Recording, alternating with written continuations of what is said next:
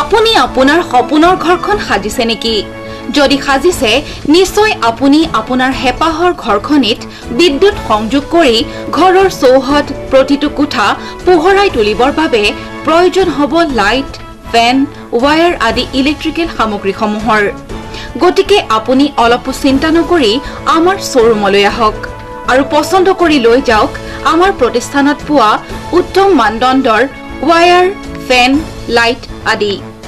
আপোনাৰ বহুমূলীয়া সময়ৰ প্ৰতি লক্ষ্য ৰাখি সামগ্ৰীসমূহ আমি আপোনাৰ ঘৰত দিয়াৰ ব্যৱস্থাও কৰি দিওঁ। আমাৰ ব্ৰেণ্ডসমূহ হৈছে A T C Havells Orient Bajaj Sigma মাৰু anchor উল্লেখযোগ্য যে আমি ছ'লাৰ পেনেলৰো অনুমোদিত বিক্ৰেতা। আমাৰ ঠিকনা সন্দীপ ইলেক্ট্ৰিক কো হাইড্ৰ টাৱাৰ পুৰণা Balibat Jorhat. Phone number nine four three five zero' five two nine eight one অথবা nine four three five zero' nine two five one three অথবা nine zero' eight five one six one seven eight nine আমাৰ land phone নম্বৰটো হৈছে zero' three seven six two three zero' four eight zero' six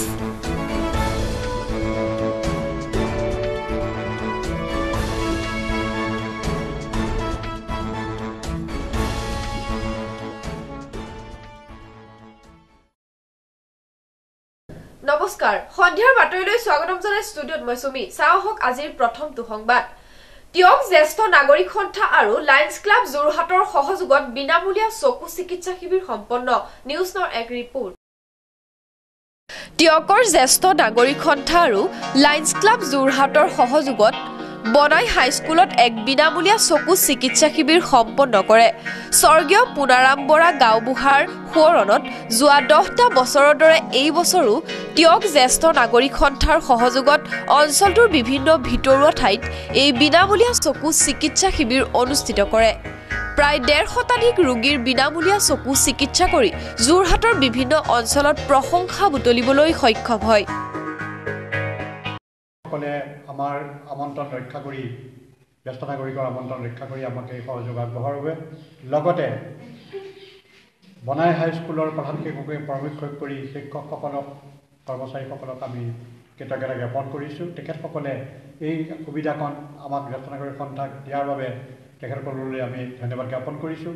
আৰু যিসকল আমাৰ জ্ঞাপ বিজ্ঞাপন ৰক্ষা কৰি যিসকল ব্যক্তি আহি আজি চকুৰ চিকিৎসা কৰোৱালে সেই সকলোলৈকে আন্তৰিক ধন্যবাদ জনাইছোঁ। আশা ৰাখিছোঁ আমাৰ এই অনুষ্ঠানটোৰ যোগেদি যথেষ্টখিনি ব্যক্তি আজি উপকৃত হৈছে। গতিকে আমি সকলোৱে এই অঞ্চলৰ সকলোলৈকে আন্তৰিক শ্ৰদ্ধা নিবেদন কৰিছোঁ। পুনৰবাৰ মই লায়ন্স ক্লাবৰ চিকিৎসক তথা কৰ্ম কৰ্মীসকলক কৃতজ্ঞতা জ্ঞাপন কৰি মই মোৰ বক্তব্য ধন্যবাদ। Madhurjya Bora report news now twenty four into seven Jorhat. নাগৰিকত্ব সংশোধনী আইনৰ বিৰোধিতাৰে শিৱসাগৰত পোন্ধৰ মাৰ্চত সন্ধিয়া সদৌ শিৱসাগৰ জিলা ছাত্ৰ সন্থাই এক জোৰ সমদল বাহিৰ কৰে। নিউজ নৰ এক বিশেষ প্ৰতিবেদন। ঐতিহাসিক ৰংঘৰৰ বাকৰিৰ পৰা কেইবা শতাধিক আছু নেতাকৰ্মীয়ে হাতে হাতে জোৰ লৈ শিৱসাগৰ চহৰৰ দিশে আগবাঢ়ি আহে। আৰু চৰকাৰ বিৰোধী বিভিন্ন শ্লোগানেৰে সমগ্ৰ শিৱসাগৰ চহৰৰ ৰাজপথ উত্তাল কৰি তোলে। আমার ক্লাস নাই। লাভ নাই লাভ নাই! তা আমি নামানো। নামানো নামানো! বুঝাই আমার ক্লাস নাই। লাভ চলিছে চলিবই! বাতিল কৰক বাতিল কৰক! অবৈধ হিন্দু বাংলাদেশীকে ৰাজনীতি বন্ধ কৰক বন্ধ কৰক বন্ধ কৰক সাম্প্ৰদায়িক শক্তি হুঁশিয়াৰ হুঁচিয়াৰ হুঁচিয়াৰ। BJP go back go back go কেন্দ্ৰীয় বিজেপি চৰকাৰখনে অসম চৰকাৰৰ সমৰ্থনত অসমবাসী ৰাইজৰ ওপৰত বলপূৰ্বকভাৱে জাপি দিয়া জাতিধ্বংসী নাগৰিকত্ব সংশোধনী আইন দুহেজাৰ ঊনৈছ বাতিলৰ দাবীত সদৌ শিৱসাগৰ জিলা ছাত্ৰ সন্থাই আমি ধাৰাবাহিক আন্দোলনৰ কাৰ্যসূচী অব্যাহত ৰাখিছোঁ আৰু আজি ঐতিহাসিক ৰংঘৰ বাকৰিৰ পৰা আমি এক জোৰ সমদল কাৰ্যসূচীৰ জৰিয়তে আমি কেন্দ্ৰ আৰু ৰাজ্য চৰকাৰক জনাই দিব খুজিছোঁ যে অসমৰ ৰাইজে এই কাম মানি নলয়। আৰু আহিব লগা দিনত আমি ইয়াতকৈ অধিক তৎপৰতাৰে অধিক জংগী ৰূপত আমি আন্দোলনৰ কাৰ্যসূচী আগবঢ়াই লৈ যাম। অসমৰ ৰাইজক সংগঠিত কৰি যেতিয়ালৈকে কা বাতিল নকৰে তেতিয়ালৈকে এই বিজেপি দলৰ বিৰুদ্ধে উচিত প্ৰত্যুত্তৰ দিবলৈ আমি প্ৰবল জনমত গঢ়ি তুলিবৰ কাৰণে সকলো ৰাইজলৈ আহ্বান জনাম আৰু ছাত্ৰ সন্থাৰ যি প্ৰতিবাদী কাৰ্যসূচী ধাৰা অব্যাহত থাকিব। বিভিন্ন প্ৰলোভনৰ ৰাজনীতি তেওঁলোকে আৰম্ভ কৰিছে। কোনো প্ৰলোভনে অসমৰ খিলঞ্জীয়া মানুহক নিজৰ অস্তিত্বৰ প্ৰতি অহা সংকটৰ সময়ত কেতিয়াও বিপথে পৰিচালিত কৰিব নোৱাৰে আৰু এই কথা আমি স্পষ্ট কৰি দিম। আহিব লগা দিনত আমি সকলোকে উচিত প্ৰত্যুত্তৰ দিবৰ কাৰণে আহ্বান। জাতিধ্বংসী নাগৰিকত্ব সংশোধনী আইনৰ বিৰোধিতাৰে আজি সদৌ শিৱসাগৰ জিলা ছাত্ৰ সন্থাই ঐতিহাসিক ৰংঘৰৰ পৰা শিৱ শিৱসাগৰ নগৰলৈ আমি জোৰ সমদল কাৰ্যসূচী বাহিৰ কৰিছোঁ আৰু এই কাৰ্যসূচীৰ জৰিয়তে কেন্দ্ৰীয় আৰু ৰাজ্য চৰকাৰৰ যি হঠকাৰী সিদ্ধান্ত এই সিদ্ধান্তৰ আমি তীব্ৰ প্ৰতিবাদ কৰিছোঁ। আমি কোনো কাৰণতে কেতিয়াও আমি কাণ নামানো নামানো নামানো। আমি প্ৰত্যেকে এটা কথা উপলব্ধি কৰিছোঁ কিন্তু চৰকাৰখনে উপলব্ধি কৰিব পৰা নাই যে এই নাগৰিকত্ব সংশোধনী আইনে আমাৰ অস্তিত্ব আমাৰ পৰিচয়ৰ প্ৰতি সংকেত কঢ়িয়াই আনিব আমাৰ ভাষা আমাৰ কৃষ্টি সংস্কৃতিক নিচ্ছিন্ন কৰিব আৰু সেয়েহে আমি কোনো কাৰণতে কেতিয়াও এই কাম আমি মানি ল'ব নোৱাৰোঁ আৰু চৰকাৰৰ যি হঠকাৰী সিদ্ধান্ত এই সিদ্ধান্ত আমি তাৎক্ষণিকভাৱে প্ৰত্যাহাৰ কৰিবৰ কাৰণে সদৌ শিৱসাগৰ জিলা ছাত্ৰ সন্থাই সজোৰে দাবী উত্থাপন যোৰহাটৰ পৰা Bidyadhar Kalita report news now twenty four into seven Jorhat. আগবাঢ়িছো পৰৱৰ্তী বাতৰিলৈ। তিনিখনকৈ ৰাষ্ট্ৰীয় মোবাইল মেডিকেল ইউনিটৰ গাড়ী অচল হৈ পৰি আছে। ক'ত কেনেকৈ জানোচোন আহক আমাৰ এক বিশেষ প্ৰতিবেদনত। এই দৃশ্যলৈ মন কৰক।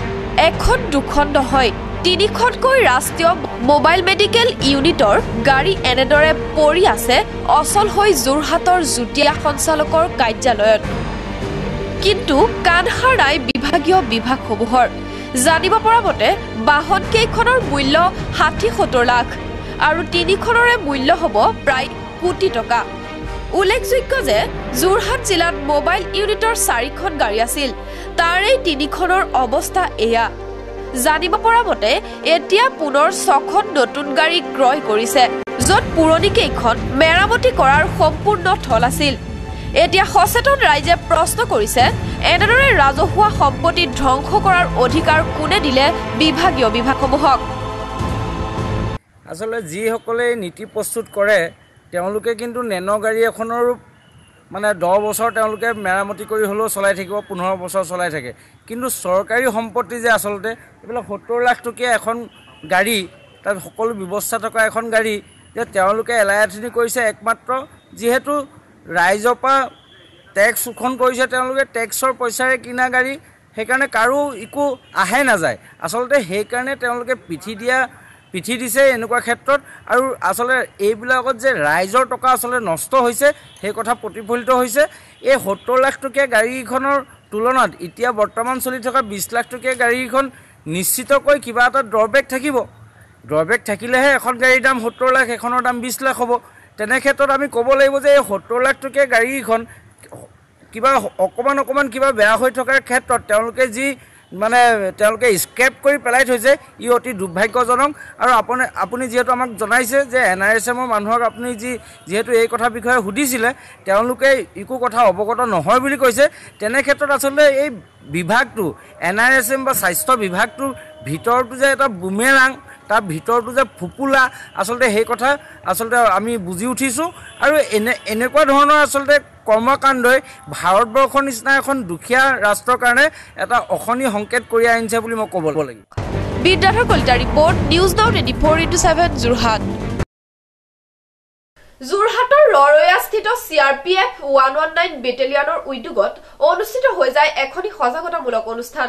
নিউজ নৰ এক ৰিপৰ্ট। উক্ত অনুষ্ঠানত জনসাধাৰণক উদ্দেশ্যিয়ে কৰোণা ভাইৰাছৰ পৰা কি ধৰণে হাত সাৰিব পাৰি তাৰে কিছু আলোচনা বিলোচনা কৰি দিহা পৰামৰ্শ আগবঢ়াই বাহিনীটিয়ে এই অনুষ্ঠানৰ লগতে সংগতি ৰাখি গটকা মিনি ষ্টেডিয়ামত চাৰিটা solar light C R P F one one nine বেটেলিয়ানৰ সাহায্যত সংস্থাপন কৰা হয়।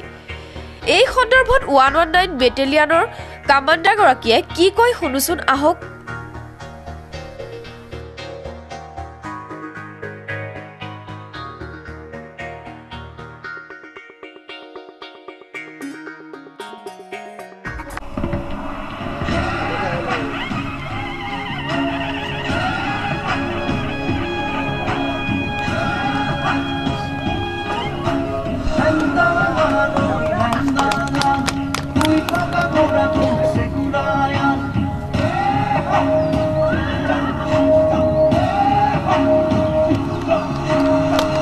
जैसा कि आप सभी को मालूम है कि सीआरपीएफ पूरे देश की आंतरिक सुरक्षा में तैनात है।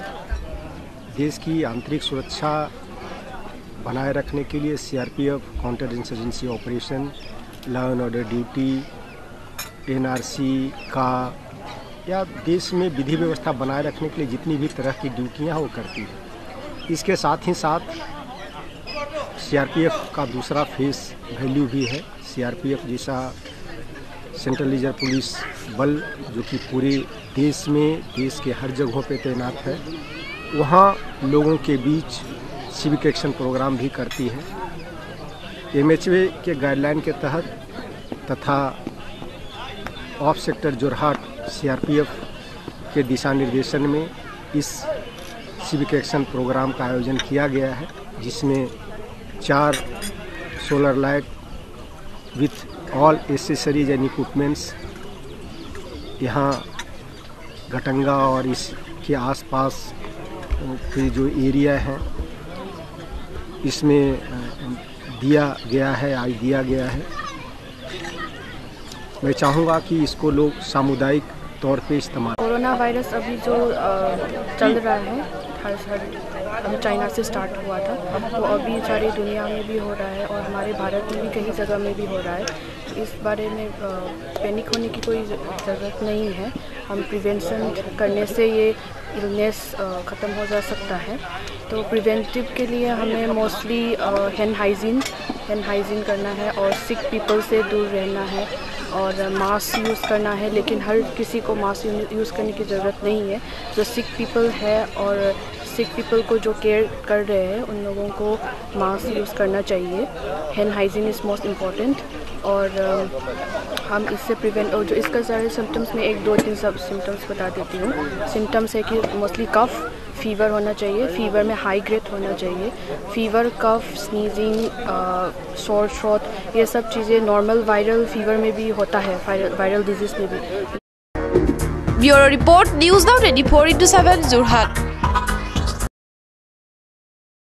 সুধাকণ্ঠ ভাৰতৰত্ন ডক্টৰ ভূপেন হাজৰিকাৰ চৰণত শ্ৰদ্ধা সহকাৰে অঞ্জলি যাচিবলৈ সাজু হৈছে তেজপুৰৰ কেইজনমান তৰুণ তৰুণী নিউজ নৰ এক বিশেষ প্ৰতিবেদন এইবাৰ বহাগ বিহুৰ মঞ্চবোৰ ভাৰতৰত্ন ডক্টৰ ভূপেন হাজৰিকাৰ গীত নৃত্য আৰু কথাৰে সজাই এটি মনোৰম অনুষ্ঠানৰ আয়োজন কৰিছে তেজপুৰৰ কেইজনমান তৰুণ তৰুণীয়ে। উল্লেখযোগ্য যে এইবাৰ বহাগৰ মঞ্চসমূহত ভাৰতৰত্ন গৰাকীৰ চৰণত শ্ৰদ্ধা সহকাৰে অঞ্জলি যাচিবলৈ সাজু হৈছে দলটি। আৰু তাৰেই শুভ আৰম্ভণি হিচাপে কেমেৰাত পুষ্প আৰু মাল্য অৰ্পণ কৰে জনপ্ৰিয় অভিনেতা অমূল্য কাকতিয়ে বিহু মঞ্চত দলটিক যোগাযোগ কৰিবৰ বাবে আঠ ছয় তিনি আঠ সাত সাত ছয় দুই চাৰি চাৰি অথবা আঠ সাত ছয় এক ন সাত আঠ চাৰি পাঁচ ছয় নম্বৰত যোগাযোগ কৰিবলৈ আহ্বান জনাইছে দলটিয়ে। তেজপুৰৰ পৰা ৰাম হাজৰিকাৰ প্ৰতিবেদন। News now twenty four to seven Jorhat.